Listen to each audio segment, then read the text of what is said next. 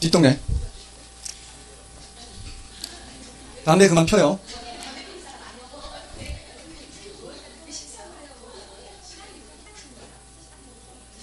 아니요. 똑같아요. 예. 거기, 어, 그때는 어떻게 할지 모르겠네. 여기, 수업 시작이 10시에 똑같이 10시라고 해요? 시작이? 아, 그렇게 돼 있어요? 학원마다 좀 달라요. 9시 반에 시작하는 데도 있거든요. 미, 미리 와서 시험을 미리 풀고 수업을 남은 시간 동안 해야 되니까. 근데, 제가 목요일이죠. 음, 그렇죠. 야간 보세요. 야간 이제 좀 일찍 오잖아요. 6시 40분부터 시험을 봐야 되니까. 그죠? 예, 그러니까 여러분들은 좀 더 늦게 마칠 수도 있어요. 지금보다. 예. 시험을, 시험을 와서 보시기 때문에, 10시에 보시기 때문에. 다른 데는 미리 와서 시험을 보고 10시부터 수업을 하거든요. 그렇죠. 그 문제를 해설해 드리는 거죠. 예, 예. 40문제씩. 시간이 부족하면 뒤로 더 늘어나는 거죠. 10시부터 시험을 보고 하니까. 다른 데는 시험을 보고 수업을 10시부터 하거나 약간 늦어서 10시 20분부터 하거나 하거든요. 그러니까 9시 반까지 와서 시, 어, 시험을 보는 예, 그런 경우에는 학원마다 방침은 좀 다르니까 예, 예, 그렇습니다. 어우, 그럼요. 예. 그럼요. 아, 어, 그렇죠. 왜냐하면은 그 저 같은 경우에는 그렇습니다. 예, 저 같은 경우에는 예, 그때 이제 출제 경향에 비슷하게 하는 그런 모의고사를 저는 그렇습니다. 다른 모의고사는 제가 별로 시대를 안 하기 때문에 예, 제가 문제 내는 것을 주로 하거든요. 그래서 작년에도 그 동영 모의고사에서 사람들이 많이 도움을 받았고요. 예, 그리고 나중에 백선에서도 그렇고요. 예, 어제는 어, 작년에 물론 이제 안 되신 분인데 한 개 차이가 안 된 분이에요. 예, 구제를 예, 구제를 못 받았어요. 이제 올라갔는데 예, 두 개가 올라갔는데 예, 한 개는 구제 받았는데 한 개는 구제 못 받아가지고 안 된 분인데 예, 그분이 어제 문자가 왔어요. 예, 작년 백선 좀 보내달라고. 올해 백선은 말 안 하더라고. 올해 백선 아직 예, 작업을 하지도 않았는데 예, 작년 백선 보고 사람들이 예, 너무 도움이 많이 됐다고. 어, 그 어, 작년 백선에서 꽤 많이 나온 편이거든요. 그래서 어, 지금 원래 제가 다른 데 수업하는 데는 원래 처음 갔는데 거기에도 이미 다 알려져 있어요. 작년 그 백선에서 예, 많이 돈 받았다고. 그러니까 어, 대부분의 분들이 그러겠죠. 저만 그런 건 아니겠죠. 이 어, 백선이라고 하는 게 출제 가능성이 높다고 판단하는 예, 그런 것들을 위주로 할 거 아니에요. 예, 모의고사도 그렇게 할 거 아니에요. 예, 모의고사도 예, 실제 출제 경향에 비추어서 그렇게 하지 않겠습니까? 예, 그래서 어, 특히나 저는 이제 그 제가 문제풀을 만들 때 처음에 이 문제 풀을 만들 때 어, 그 기출 문제 유형들 있죠. 기출 문제 유형들을 뽑아가지고 이제 풀을 만들었기 때문에 그래서 그 문제들을 변형시키고 있기 때문에 예, 가장 근접할 거예요. 처음, 처음에 예, 이 문제를 만들 때 기출 문제집을 놓고 그 다음에 옆에 예, 제가 이제 원고를 쓰는 걸 이제 뽑아가지고 이렇게 하나하나 뽑아가지고 거기에 맞춰서 문제를 변형해서 했기 때문에 예, 가장 근접하다고 생각을 하거든요. 근데 시중에 모의고사들을 보면은 그 너무 그 출제 경향에 동떨어진 문제들이 많이 포함되어 있는 문제들이 있어요. 그러니까 그게 한두 문제, 서너 문제 이렇게만 들어가면 괜찮아요. 실전에서도 어, 이 기본서에 없는 그런 내용들이 출제가 되니까. 근데 그게 너무 많아져 버리면은 그게 이제 예, 수험생들의 이 공부 방향을 엉뚱한 대로 예, 가게 해버리거든요. 예, 그래서 어, 그런 것들을 막기 위해서 예, 기출 문제 철저히 그 기출 문제를 바탕으로 해서 만들었거든요. 그러니까 어, 다른 과목은 모르겠지만 하여튼 예, 저는 동경 모의고사나 백선 이거는 예, 들어야 된다고 생각해요. 예. 자 이제 22번을 보겠습니다. 예, 상업지의 공간 균배 원리를 설명한 것으로 틀린 것은 자, 이 공간 균배는 공간을 균등하게 배분한다 이런 의미예요. 예, 이그 그 5번 지문을 보시면은 그 집심성 점포라든가 집재성 점포, 산재성 점포 이런 것이 다 이 공간 균배 원리에 의해서 분류된 건데요. 그 1번 지문에 그 의의가 나오고 있습니다.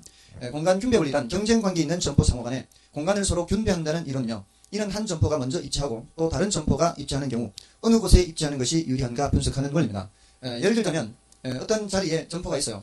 그러면은 어, 어떤 예, 시장에 점포가 있으면은 이 점포와 경쟁 점포가 만약에 들어서게 된다면 예, 이쪽에서 이 점포를 이용하던 고객을 예, 얘가 차단을 하게 돼요. 얘가 이쪽에서 가던 고객을. 그러면 이 점포 입장에서는 이쪽에서 오는 고객이 줄어들었죠. 예, 그러니까 이쪽에서 오는 고객을 또 합하기 위해서 다른 쪽으로 이렇게 갈 거라는 거죠. 위치를. 예, 거기에 따라 얘도 또 위치를 또 이동하게 되고 예, 이런 식으로 예, 공간을 일정하게 분배하는 것은 분산 입지의 경우에는 이렇게 되는 거예요. 분산. 예, 근데 산재성 점포가 되겠죠. 예, 근데 경우에 따라서는 예, 비슷한 점포가 옆에 오는 것이 오히려 더 도움이 될 수도 있거든요. 같은 업종들이 모여 있는 것이 고객을 더 끌어당길 수도 있거든요. 그러면은 집재성 점포가 만들어지고 뭐 그런 원리를 얘기하는 것이 바로 공간 균배 원리예요. 에, 근데 이제 그 2번, 3번, 4번이 좀 어려운데 그 3번 지문을 중심으로 놓고 생각하면 돼요. 에, 시장이 좁고 수요의 교통 비 탄력성이 작은 경우에는 집심적 입지 현상이 나타난다. 에, 이거는 그 수요의 교통 비 탄력성 이렇게 이 교통 비 탄력성 하는데 일단 교통비는 생각하지 마시고요. 탄력성이라는 게 뭐예요? 탄력성은 수량 변화의 크기라고 했죠. 탄력성이 작다는 얘기는 수량 변화가 작다는 얘기예요. 근데 교통비가 늘어나게 되면은 수량이 줄겠죠. 수요량이. 이제 중심지가 있으면은요. 예, 그 교통비가 늘어난다는 얘기는 거리가 멀어진다는 얘기예요. 거리가 멀어지게 되면은 멀어질수록 이쪽으로 구매하러 가는 횟수는 줄겠죠. 이게 바로 뭐예요? 수요가 줄죠. 근데 수요가 줄기는 주는데 그게 크지가 않다는 거예요. 탄력성이 작다는 건 수량 변화가 작다는 얘기는 주는 정도가 크지 않다는 얘기예요. 그 소리 뭐예요? 멀어도 간다는 얘기입니다. 멀어도 간다. 이 소리 탄력성이 적다는 얘기가 수량 변화가 별로 없다는 얘기가 멀어도 간다면은 이 말이에요. 그러면 이게 좀 거리가 멀어도 간다면은 굳이 이 점포는 고객들 찾아서 갈 필요 없이 오는 고객 받으면 되는 거죠. 네, 멀어도 간다는 얘기는. 그러면 그런 경우에는 집심 입지 현상이 나타날 수 있다는 거죠. 가운데서 오는 고객 받아도 된다는 얘기예요. 그죠? 근데 이게 교통비 탄력성이 크다면요. 탄력성이 크다는 건 수량 변화가 크다는 거잖아요. 교통비 늘어날 때 사람들이 사러 안 가는 거예요. 크게 줄여버리는. 크게 줄여버리니까 그때는 점포가 얘기를 고집하면 안 되죠. 고객들 찾아 떠나야 되죠. 그럼 뭐예요? 분산 입지하게 되는 거예요. 됐나요? 예, 분명히 이해는 됐죠. 예, 근데 한 시간 뒤에 까먹을 거잖아요. 그러니까 외우는데 작은 집으로 외우시라고 작은 집으로. 교통비 탄력성이 작으면 집심 입지 현상이라고요. 그러니까 이해는 됐지만 이거 다시 생각하려고 하면 복잡하거든요, 사실. 예, 그러니까 작은 집으로 그냥 외우시라고. 한번 이해는 했으니까. 됐나요? 그냥 작은 집. 교통비 탄력성이 작으면 집심 입지 현상이다. 이렇게. 예, 그걸 중심으로 해서 그러면 2번이 이제 반대의 경우예요. 시장이 넓고 넓으니까 그만큼 더 점포가 많이 있어야 되겠죠. 그리고 수의 교통비 탄력성이 큰 경우에는 분산 입지가 되는 거예요. 됐죠? 작은 집을 생각하면 이제 거꾸로 생각하면 되니까. 다음에 4번은 뭐를 생각하는가 하면 작다 작다 작다 못해서 0이 되는 거예요. 작은 경우에는 집심 입지 현상인데 작다 못해서 이게 0이 돼버리잖아요. 그럼 집심 집심 집심이라는 게 이 배우제 중심 근처잖아요. 중심 이 중심 이 0이 돼버리면 중앙이 돼 중앙 한 가운데 한 가운데 예, 중앙이 된다 이렇게요.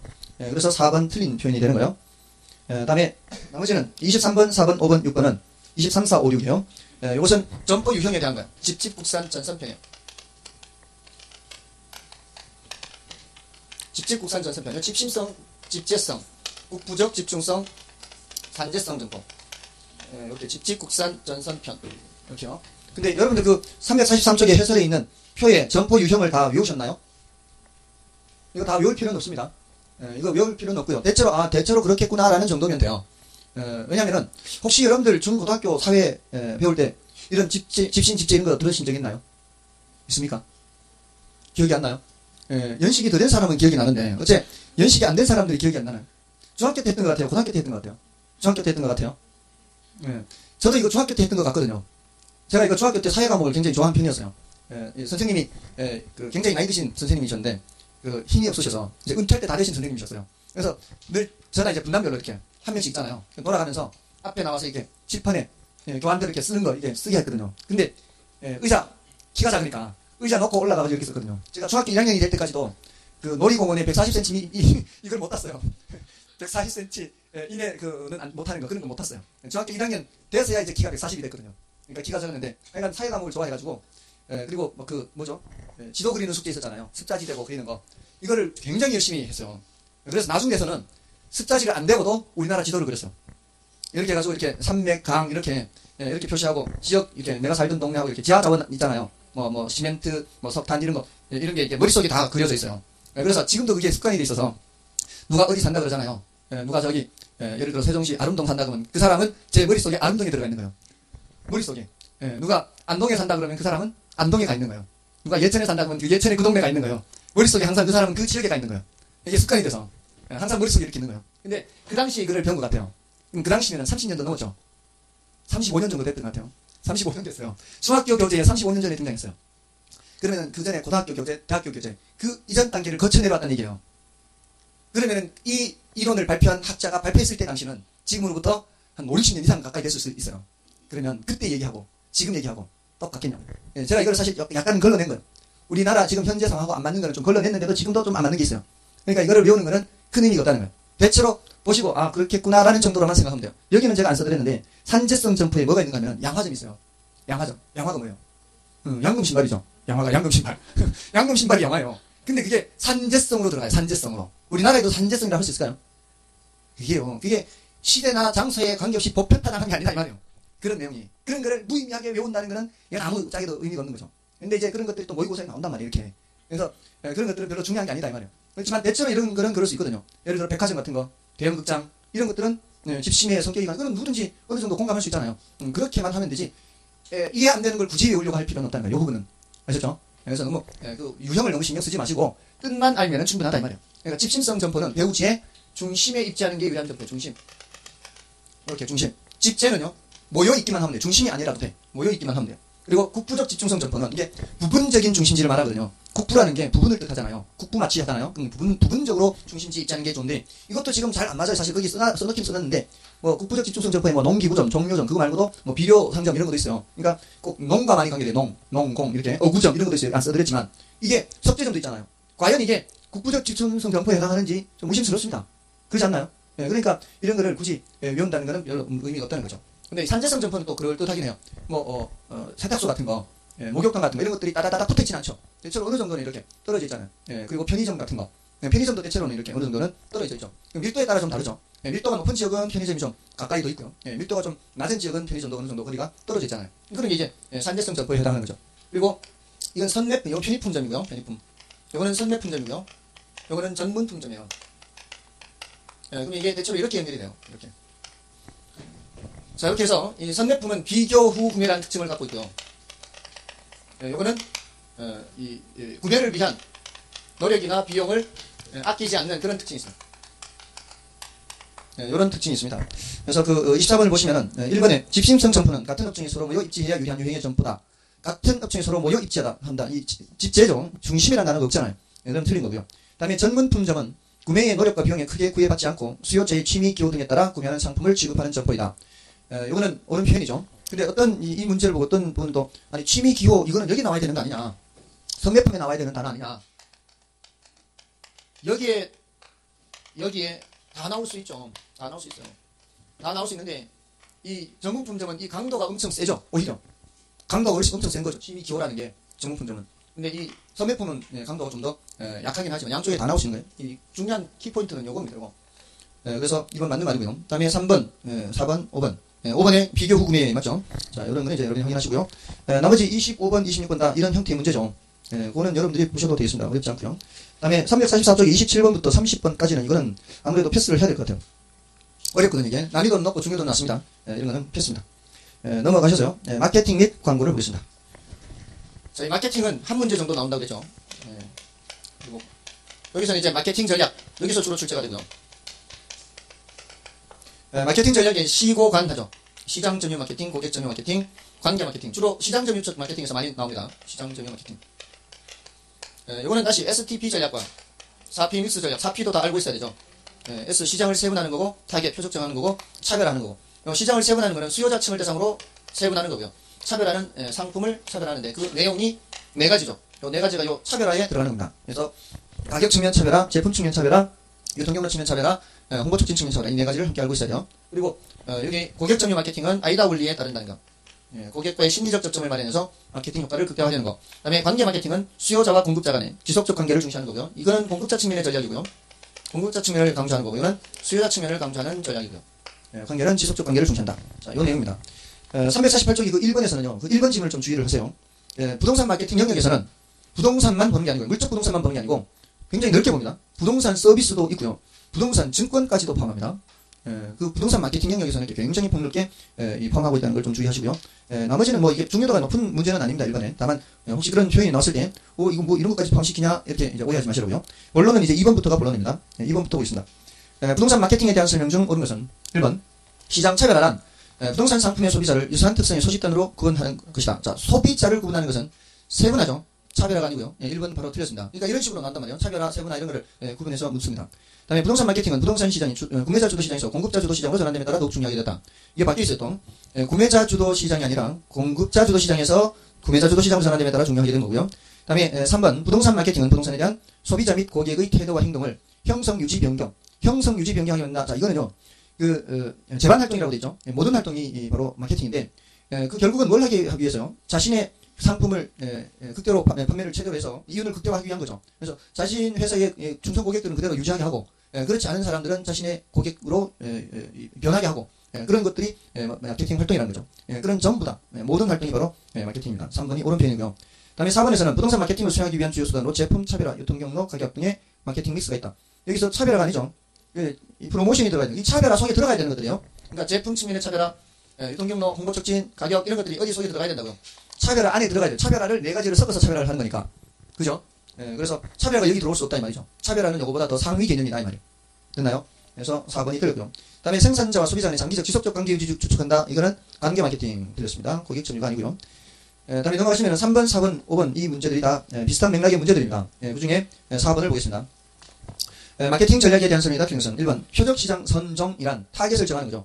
에, 이거는 세분화된 시장에서 대상 상품의 가망 수요 집단을 확인하고 표적 시장에 적합한 신상품을 기획하는 단계이다. 표적 시장 선정 세분화된 시장에서 자 STP죠. 예. 이게 S가 시장을 세분하는 거죠. 시장을 세분하는 거. 예, 세분해서 그 중에서 이게 타겟을 정해야 되죠. 예, 표적을 정하는 겁니다. 그 다음에 차별화를 해야 되죠. 제가 지난번에 그 어, 제가 쓴 원고 출판한 이, 이 이지온 패스 출판사 말씀드렸나요? 차별화 전략. 음, 그 그런 거예요. 그런 거. 예, 이 시장을 세분했잖아요. 그러니까 1차 시장과 2차 시장, 이렇게 공인중개사 수험 시장을. 그러니까 1차 시장, 2차 시장에서 거기는 그 출판사는 1차 시장에만 이제 집중하는 거죠. 근데 1차 시장에 집중하더라도 타겟을 1차 시장을 집중했어요. 1차, 2차 다 한 게 아니라 그 중에서도 어떤 상품에 초점을 맞췄어요. 기출 문제집이. 예, 왜냐면은 다른 메이저 업체들은 기본서, 예상 문제집, 기출 문제집 다 내요. 다 내는데 그 뭐 박문각 이런 게 많잖아요. EBS 우리 원래 EBS 썼었잖아요. EBS 박문각 뭐 또 어, 에듀나인, 뭐 에듀프로 이런 데 많거든요. 메이저 업체들이. 예, 수험생 시장이 지금 10몇만 명 돼요. 예, 1년에. 그러면 이제 이 메이저 업체들이 나눠 가지면 한 3만 몇 명씩 나눠 갔잖아요. 예, 그런 메이저 업체에 게임이 안 되지. 그런 작은 업체는. 그러니까 그걸로 승부를 걸 수가 없는 거예요. 기본서하고 예상 문제 이런 걸로 승부를 걸- 낼 수가 없는 거예요. 그러니까 어떻게 해요? 부교재인 기출 문제집이요. 기출 문제집은 기본서는 달라도 기출 문제집은 어떤 예, 출판사의 예, 봐도 관계가 없거든요. 그걸 주교재로 사용하는 게 아니기 때문에. 예, 그러니까 거기에다가 어떻게 하는 거예요? 다른 회사 어, 이 기출 문제집보다 훨씬 상세한 설명과 뭐 이, 이 이론 정리까지. 그러니까 이 책으로 책만으로도 어, 합격할 수 있는 점수가 나오게끔. 예, 그게 이제 원래 컨셉이거든요. 이 차별화가. 예, 그래서 시장을 점유하겠다는 거죠. 예, 근데 뭐가 잘 안 됐다고요? 이 차별화를 하는데 제품 측면하고 예, 가격 측면은 차별화 됐어요. 이 더블이에요, 더블. 가격은 더블. 음, 제품은 고품질. 근데 홍보가 안 돼, 홍보가. 또 뭐도 안 되고요. 유통 경로도 이게 한계가 있어요. 이게 유통 경로가 여러 가지 유통 경로가 되는데 이 보통 이게 업체들은요, 이게 학원에 오거든요, 이게 업체 직원들이 우리 책 좀 써주세요 하고 이렇게 학원에 와서 홍보를 하고 돌아다니고 이렇게 예, 여러 가지 경로가 있어요. 근데 여기서는 오로지 그냥 인터넷 서점이나 그냥 예, 그 제가 출간하는데 몇 군데만 이렇게 하거나 이거밖에 안 돼요. 이게 안 되는 거지 이게. 근데 원래는 엄청 많이 팔렸다니까요. 이게 이제 입소문이 나가지고 예, 원래는 몇 번을 찍었어요, 몇 번을. 예, 그러니까 이제 품질이 괜찮다. 예, 이게 이제 예, 알려지기 시작하는 것 같아요. 그래서 제가 어저께인가 어저께인가 저기 이, 이, 이 공사모인가 공사모에 이게 이전 이렇게 딱 이렇게 어, 했더니만 우연히 서점에 가서 샀는데 예, 해설이 너무 좋다. 너무 좋더라. 이렇게 하면서 동영상은 이거들을 배운 거냐 이런 이제 얘기 글도 올라와 있더라고. 그러니까 예, 이제 서서히 노출이 되는 것 같아요. 이게 3년 만에 한 번도 아 하기야 지난 그, 그 3년 전에 저기서 뭐 그 블로그 광고도 했다 그러더라고 출판사에서 한 달에 150만 원, 200만 원 한 달에. 근데요 효과 별로 없어요. 그런 효과가 별로 없어요. 제일 효과적인 게 뭔- 뭔지 아세요? 입소문, 입소문. 그게 제일 효과적이에요. 다른 거 필요 없어요. 그러니까 그런 비용들에 맞춰 소용이 없는 거예요. 예, 아무튼 이게 차별화를 하긴 해도 이렇게 성공을 하기 위해서는 이 이 네 가지가 다 이렇게 섞여서 제대로 돼야 되는데 그렇게 안 되면 이제 한계가 있다는 거죠. 예, 아무튼 예, 그 표적 시장 선정하는 게 선정, 선정했잖아요. 예, 선정이란 세분화된 시장에서 대상 상품의 가망 이 기대할 수 있는 수요 집단이죠. 기대할 수 있는 수요 집단을 확인하고 표적 시장에 적합한 신상품을 기획하는 단계다 맞는 말이고요. 그다음에 시장 세분화 전략이란 수요자 집단을 인구 경제학적 특성에 따라 세분하고 세분화된 시장에 따른 예, 상품 판매 지향점을 명백히 하는 단계이다. 요 앞선, 앞선 단계 여기서 하는 거죠. 맞고요. 그다음에 차별화 전략이란 동일한 표적 시장을 갖는 경쟁자에 대한 경쟁 우위 전략을 수립하고 가망 수요 집단에 대하여 제품의 우수성이나 적합성 등을 홍보하는 단계이다. 이 홍보, 홍보 촉진 요 안에 들어가 있죠. 차별화 안에 이런 게 다 들어가 있습니다. 다음에 4번에 고객 점유 마케팅 전략이란 예, 수요자의 전략 차원으로서 예, 표적 시장을 선점하거나 틈새 시장 점유하는 기본 STP 전략 사편이 틀렸죠. 뒷부분이. 예, 이게 시장 점유 마케팅 전략이죠. 그래서 시장 점유 마케팅 전략이란 공급자의 전략 차원으로서 이렇게 바뀌어야 되죠. 다음에 5번에 관계 마케팅 전략이란 생산자와 소비자 간의 장기적 지속적 관계 유지를 중시하는 전략이고요. 어, 이거는 맞고요. 다음에 5번도 다 같은 맥락이니까 여러분이 좀 봐주시고요. 넘어가시면은 에, 그 4P 내용도 알고 계셔야 되고요. 그래서 6번에 지금 에, 4P 전략이 바르게 짝져진 것을 하고 있죠. 이제 가격 전략, 제품 전략, 유통 경로 전략, 홍보 촉진 전략 이렇게 해서 1번이 정답이죠. 에, 근데 그 위에 영어 단어가 다 있죠. 영어 단어가 다 있어요, 위에. 에, 근데 우리 시험에서도 지금까지 출제를 하면서 거의 대부분 영어 단어 다 써줬어요. 영어 단어를 다 써줬어요. 예, 그래서 예, 뭐 그렇게 어렵진 않은데 아까처럼 이 차별화를 상호 속에 집어넣으면 차별화 P잖아요. 포지셔닝. 그러니까 같은 P니까 헷갈릴 수 있다는 거죠. 그런 걸 이제 헷갈리지 마시라고요. 예, 4P긴 4P, 4P라도. 예, 다음에 이제 뭘 조심하는가 하면은 이제 7번은 이제 여러분이 보시고 8번, 9번에 보시면은 그 유통 경로를 부동산 쪽에서는 입지 선정이나 토지 확보라는 표현을 쓰기도 해요. 유통 경로 대신에 입지 선정 또는 토지 확보라는 표현을 씁니다. 그러니까 혹시라도 유통 경로를 병기하지 않고 예, 함께 써주지 않고 그냥 입지 선정 토지 확보 이렇게 나오면은 예, 예, 헷갈리지 마시라고요. 아시겠죠? 예, 그것만 좀 조심하시고요. 다음에 10번, 11번, 12번에서는 이제 광고에 대한 건데 예, 11번, 12번을 좀 보겠습니다. 예, 11번 보시면 부동산 광고에 대한 설명 중 틀린 것은 1번에 신문 광고 중 전시 광고는 한정된 공간에 많은 정보를 광고하는 광고이며 안내 광고는 광고 공간이 크기 때문에 상세한 설명이 가능하다. 자, 이게 전시 광고는요. 이렇게 전면 광고 있죠. 전면 광고. 어, 다음에 반면 광고 있죠. 위에는 기사가 들어가고요. 그 반면 광고. 이런 게 전시 광고예요. 전시 광고는 예, 지면이 넓어서요. 상세한 설명문을 집어넣고 할 수 있어요. 근데 안내 광고는 이런 거죠. 이렇게 여기가 이제 기사가 있으면은 요 밑에를 3단 또는 뭐 한 개 다음 4단으로 이렇게 나눠서 이렇게 이렇게 짤막짤막하게 이렇게 자그맣게 해서 여기 극구 이렇게 일수 이렇게 이런 이런 거 있죠. 예, 이런 게 바로 예, 안내 광고예요. 이렇게 이런 거는 이제 상세한 설명문을 넣기가 어렵죠. 예, 예전에 예전에는 신문이 이, 여기가 여기가 일면이죠. 이렇게 신문 이렇게 봤죠. 이렇게 그죠? 예, 지금 고개 끄덕이는 사람들은 좀 연식이 된 사람들이고요. 이 모르잖아 지금 젊은이들은. 예전에 신문 이렇게 만든 거 모르지. 예, 이게 언제부턴가 이렇게 바뀌었죠. 예, 여기가 일면 여기가 예, 책 이, 이- 이 쪽으로 여기가 일면 이렇게 이렇게 그죠? 예, 기억하는 사람들은 예, 좀 됐다는 얘기예요. 그리고 이게 세로로 다들 아, 시죠 세로로 이렇게 하죠. 근데 요때 제가 어릴 때 기억에 일면에 여기에 예, 이, 이 광고가 어, 나와요. 일면에 그 일면에 요만한 이런 광고가 나오거든요. 굉장히 비싼 곳이잖아요. 일면에 조그맣게 나오는 게. 그 일면에 조그맣게 나오는데 이게 주로 뭐였는가 하면 제 기억에 변호사 사무실 개업이에요. 변호사 사무실 개업한다는 광고를 그렇게 조그맣게 해요. 근데 굉장히 비싼 광고예요. 예, 이런 게 다 안내 광고죠. 예, 이런 거는 이제 그 상세한 설명문을 넣기가 어렵죠. 예, 이제 안내 광고, 전시 광고 이렇게 요. 그래서 1번이 예, 틀렸죠. 예, 1번이 틀렸습니다. 다음에 예, 2번은 어, 그 부동산 광고는 구매자뿐만이 아니라 예, 판매자도 대상으로 하는 양면성이 있고요. 이건 특히 이제 중개 광고를 생각해야 돼요. 그러니까 사는 사람도 파는 사람도 모두 대상이 될 수 있죠. 그다음에 예, 3번의 경우는 그 키워드가 둘째 줄에 지식 제공이요. 예, 지식 제공을 목적으로 하는 광고를 계몽 광고 이렇게 하고요. 예, 그다음에 부동산 광고는 일반 광고에 비해 시간적 제한성, 지역적 제한성, 에, 개별성 등의 특성이 있고요. 이런 정도는 봐주시고요. 그다음에 부동산 광고는 마케팅 활동을 수행하기 위한 수단 중에 하나다. 이, 이것도 여기 안에 들어가 있죠. 예, 프로모션 안에 들어가 있잖아요. 음, 마케팅 활동의 에, 하나가 되는 겁니다. 다음에 12번에서는요. 1번은 이제 여러분이 보시면 되고요. 좀 전에 말씀드렸고 novelty 광고는 실용적이고 장식적인 조그만 물건을 광고 매체로 이용하는 거고요. 에, 뭐 이쑤시개 뭐 이런 것들 있죠. 요즘은 이제 지하철 역에서 나오면 뭐, 뭐죠? 물티슈 말이죠. 물티슈. 예, 물티슈는 저도 받아갑니다. 예, 그거는 받아가요. 다른 안 받아도. 예, 그런 거. 다음에 ad, ad mix는 뭔가 하면 mix가 섞는 거죠. ad는 광고란 뜻이에요. 그러니까 광고를 섞는다는 얘기거든요. 그러니까 여러분들도 앞으로 문, 뭐, 어, 오픈을 하거나 또는 다른 사업을 할 때, 예, 이거를 좀 고려를 해야 돼요. 광고하는 게 한 가지만 있는 게 아니잖아요. 예, 전단지도 있고, 방금 했던 novelty, 예, 물티슈 같은 것도 있고, 또 플랜카드 같은 거 걸 수도 있고, 뭐 이렇게 할 수 있잖아요. 여러 가지가. 근데 그 중에서 어떤 것이 효과가 높은지, 그 효과가 높은 것과 효과가 낮은 것을 적절하게 섞어서 해야 되거든요. 그래야 예, 똑같은 돈을 들이더라도 효과적으로 광고를 할 수 있잖아요. 옛날에는 이 모바일이나 이런 게 발달하기 전에는 인터넷이나 이런 게 발달하기 전에는 거의 대부분이 전단지였습니다. 신문 전단지.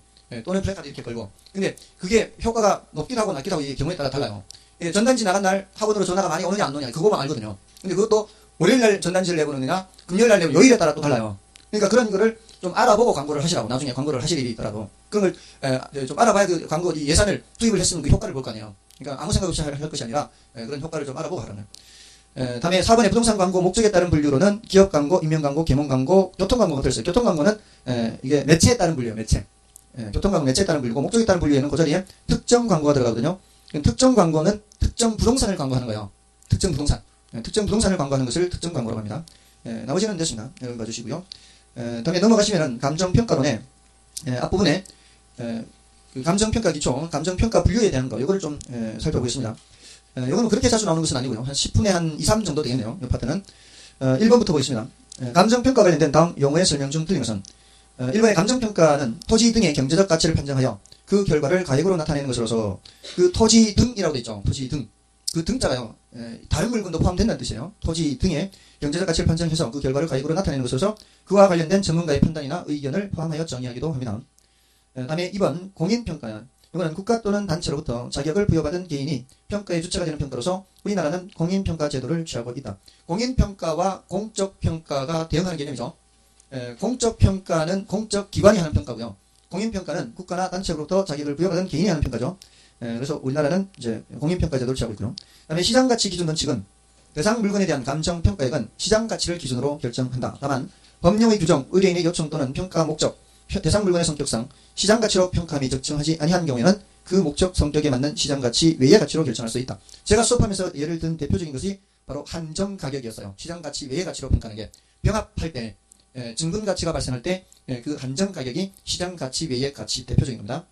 예, 다음에 현황 평가는요. 대상 부동산의 상태, 구조, 이용 상황, 제한 물건의 부착, 점유 상태 등의 현황이 있는 그대로 평가하는 것을 말하며 건부지 평가는 이에 해당한다. 예, 건부지는 지상에 건물이 있는 상태의 땅 평가하는 거죠.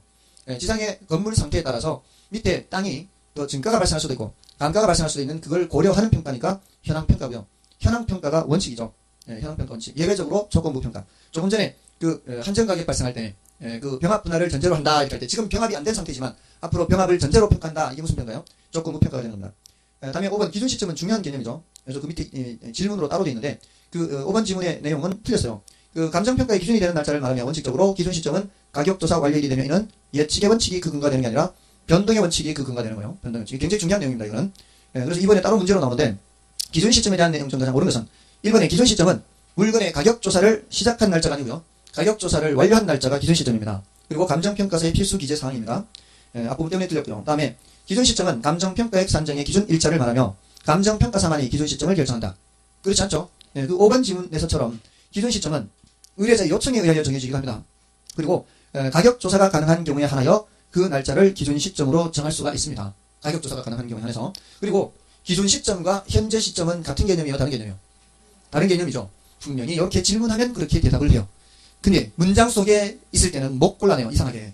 질문을 하면 대답 안 한대. 그러니까 이게 이게 그 머릿속에 딱 미리 생각을 하고 있어야 되거든요. 예전에 애들 그 과외 할 때 보면은 야 공식 외워봐라. 공식 외워요. 숙제를 해봐요. 예, 써봐라. 그러면 써요. 문제 풀어봐라. 그러면 그 공식을 못 써요. 문제 풀어보라 그러면 그 공식을 못 써요. 뭘 모른다는 거예요. 이 문제에 그 공식을 적용하는 건지 안 하는 건지를 모르는 거예요. 아무리 공식을 외우고 있으면 뭐예요? 그 공식을 언제 써먹는지를 알아야 되잖아요. 그죠? 그래서 대부분 거기에서 막혀요. 공식을 모르면 하는데 그걸 써먹는 걸 모르는 거죠. 그러니까 연장은 갖고 있는데 이 연장 사용 방법을 모르는 거죠.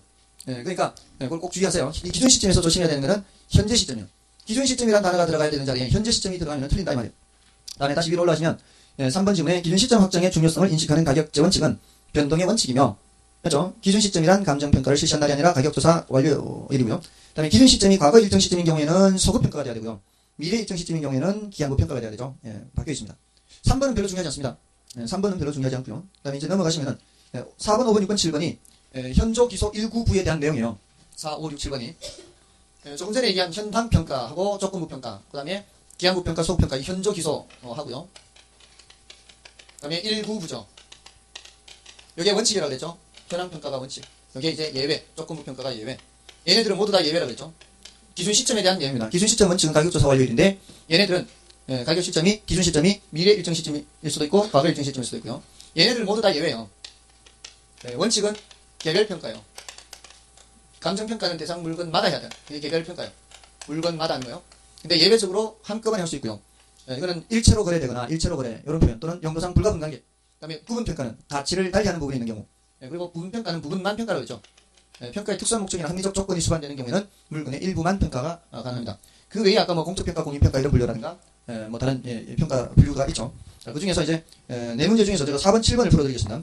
4번은 부동산 평가에 대한 설명으로 것은 1번에 두 개 이상의 대상 물건이 일체로 거래되거나 대상 물건 상호 간에 용도상 불가분의 관계가 있는 경우에는 일괄하여 평가할 수 있다. 키워드가 다 나왔죠. 일체로 거래, 불가분 관계. 다음에 한 개의 대상 물건이라도 가치를 달리하는 부분은 이를 구분하여 평가할 수 있다. 이것도 맞죠. 다음에 그 경우에 이제 그 내용을 감정평가서에 기재해야 되고요. 다음에 일체로 이용되고 있는 대상 물건의 일부분에 대하여 특수한 목적 또는 합리적 조건이 수반되는 경우에는 일부 평가, 부분 평가를 말하는 옳은 표현이고요. 다음에 피고용 관계에서 그가 고용된 단체의 업무를 이행하는 평가를 참모 평가라고 한다. 참모는 스텝을 말하는 거죠. 그러니까 자기가 고용된 상태에서 하는 것을 말하는 거예요. 예, 그게 이제 옳은 표현이고요. 그다음에 부동산 가격을 시장 가격과 달리 구할 필요가 있는 경우에 그 평가 방법을 법률에 정해놓고요. 법, 법률에 정해놓고 그 규정에 의해 뭐요? 법정 평가예요. 법정 평가. 예, 이게 공익 평가가 아니라 법정 평가입니다. 예, 다음에 5번, 6번은 여기 보시고 자 7번을 보겠습니다. 자 7번과 같은 형태로 제가 수업을 예, 하기도 했었는데요. 예, 비슷하게 요금 똑같진 않고요. 예, 다음 두 토지 중 A 토지 소유자가 B 토지를 미입하여 하나의 획지로 이용하고자 한다. 이때 하나의 획지로 이용함으로써 충분 가치가 발생한다고 한다. 이와 관련하여 다음 중 틀린 것은 1번에 B 토지를 자료형 토지를 한다. 맞죠? 이와 관련된 부동산의 특성은 병합 분할 가능성이다. 맞고요. 다음에 두 토지 소유자 간 증분 가치에 대한 합의가 이루어지지 않아 감정평가사에게 의뢰하는 경우 감정평가사는 현황 평가를 한다. 아까 뭐라 그랬어요 이게 조건부 평가를 그랬잖아요. 지금 이 상태대로 평가하는 게 아니라 뭐를 한다고 해- 하고 평가하는 거예요. 병합한다고 하고서 평가하는 거죠. 그래서 현황 평가가 아니라 조건부 평가라고요. 그 다음에 이 경우 감정평가사는 기여의 원칙을 적용하며 시장 가치 외의 가격으로 평가한다. 맞죠? 지금 이때 적용되는 가격이 한정 가격이라고 했잖아요. 네, 그게 바로 시장 가치 외의 가격이고 기여의 원칙을 적용하죠. 네, 앞 토지가 기한 부분이 있을 거고 뒤 토지가 기한 부분이 있을 거 아니에요. 예를 들어 지금 그 상태에서 A 토지가 1억이고요. B 토지가 1억 각각은 1억이지만 합병을 해버려 했을 때 2억 5천이 되든 뭐 3억이 되든 이렇게 더 커질 수 있죠. 이러면 지금 5천만큼 더 커졌죠. 이게 증분 가치란 말이에요. 근데 이 증분 가치 5천에 A도 기한 부분이 있을 거고 B도 기한 부분이 있을 거 아니에요. 예, 그래서 이 기한 정도를 보는데 실제 감정평가에서는 가액 기준으로 하는 방법이 있어요. 이것도 1억이고 이것도 1억이니까 그냥 2,500씩 2,500씩 기여한 거를 그렇게 보는 방법이 있고요. 또는 면적비가 있어요. 면적비. 예, 가액 비도 있고 면적 비. 면적 비 하면은 비, 비, 비 토지가 더 커요. 예, 그럴 때는 B한테 조금 더 예, 이 가격이 넘어가게 되고요. 그런 이제 예, 구체적인 방법들이 있는데 우리 뭐 거기까지는 알 필요는 없고요. 이렇게 아 뭐를 적용하는 거 이게 기여한 정도를 전 기여. 예, 그래서 기여의 원칙이 적용되는 거예요. 다음에 5번에 감정평가사가 적정한 가격을 산정하게 되면 이는 A와 B 토지 사이에 예, B 토지 소유자 사이에 합리성이 인정되는 가격이다. 그죠? 다른 사람한테는 합리성이 인정되지 않죠. 누구하고 누구 사이에서만 A, B 사이에서만 합리성이 인정되는 가격이다. 이런 겁니다. 예, 다음에 그 기출 문제들은 여러분이 보시고요. 예, 좀 쉬고 이제 가격 이론을 보도록 하겠습니다.